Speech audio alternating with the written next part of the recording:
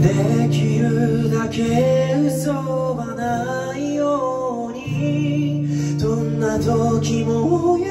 しくあれるように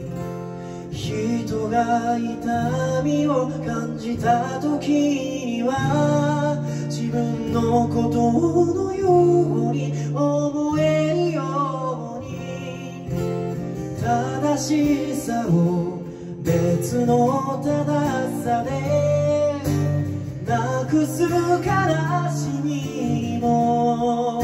出会うけれど水平線が光る朝にあなたの希望が崩れ落ちて風に飛ばさ